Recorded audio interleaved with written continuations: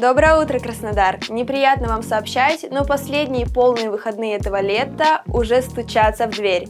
Но есть и хорошие новости, тепло пока не намерено покидать Краснодар.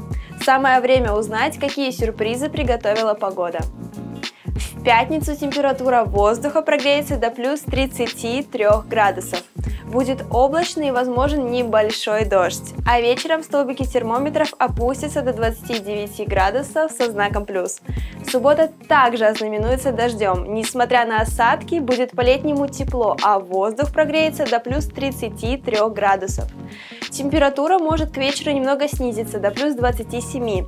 Воскресенье немного похолодает до 31 градуса.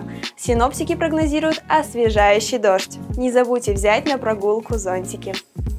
А с вами была я, Настя Весна. Теплых и уютных вам выходных. Проведите их так, чтобы потом не было грустно встречать осень.